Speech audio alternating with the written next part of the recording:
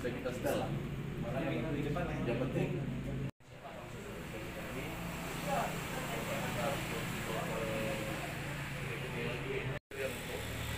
mau bergerak untuk keliling ke 100 kopi lah kita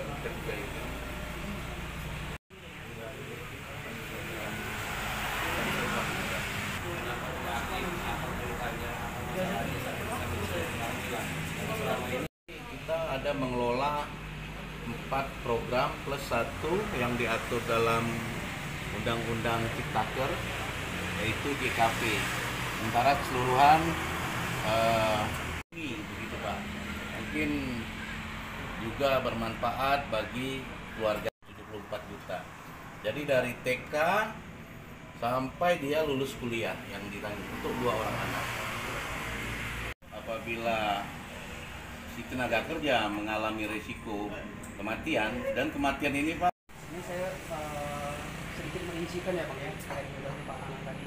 Kita pertama punya program namanya Bang JKK. Dengan tadi saya bilang pekerjaan.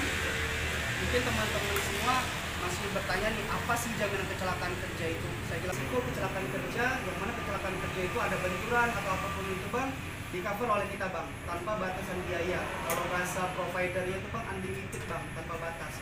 Jadi seumpama nih, contoh, saya kerja di kedai kopi misalkan, ada kecelakaan eh, ketika saya dari rumah menuju ke kedai kopi kecelakaan nih bang, bawa ke rumah sakit. Nah itu bang ada penggantian untuk eh, santunan kecelakaan kerjanya sesuai dengan kebutuhan medisnya bang. Jadi butuhnya berapa ditanggung oleh kita. Seumpama nih di saya kecelakaan kerja nih, dibawa ke RSAL misalkan, butuhnya 1 m, kita bayar 1 m bang.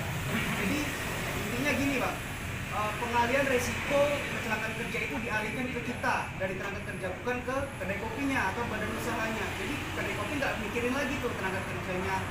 Berapa rincian. Jadi misalkan nih saya kecelakaan kerja. Ada santunan biaya pengambilan misalkan. Pakai mobil nih. Nah itu ganti bang. Berapa uangnya pakai ambulan pun berapa uangnya kita ganti makanya parah nih bawa ke Batam misalkan naik ke laut bang naik naik naik laut itu naik kapal maksimal 5 juta kita ganti bang dibawa ke Jakarta naik udara berarti naik pesawat dong. Nah itu dapat penggantian maksimal 10 juta bang.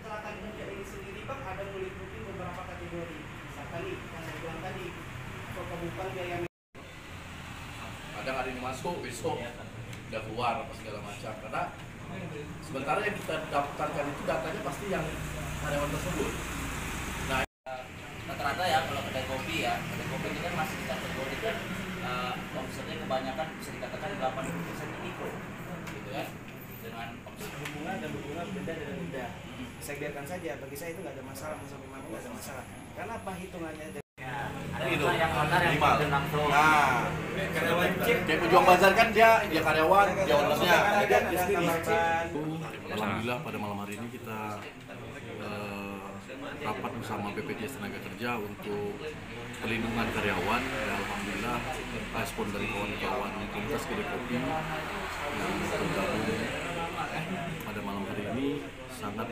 sangat eh, mendukung ya, program dari BPJS Tenaga Kerjaan karena ini bisa membuat eh, kita juga bisa terbackup dalam hal kecelakaan karyawan dan juga eh, hal lainnya yang tak diinginkan lah.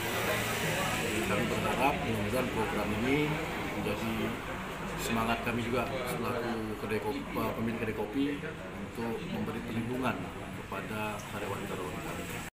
Ya, betul. Eh, kebetulan kita bisa hadir dalam acara kegiatan di pertemuan di kedai kopi.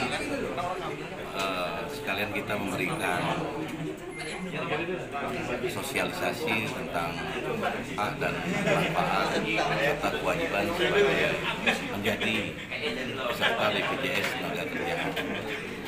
Uh, dan seperti kita ketahui bahwa di Tanjung Pinang ini banyak sekali kedai-kedai kopi Uh, sebagai salah satu tugas dari BPJS tenaga itu memberikan perlindungan kepada tenaga kerjanya dari resiko-resiko sosial yang bisa saja terjadi.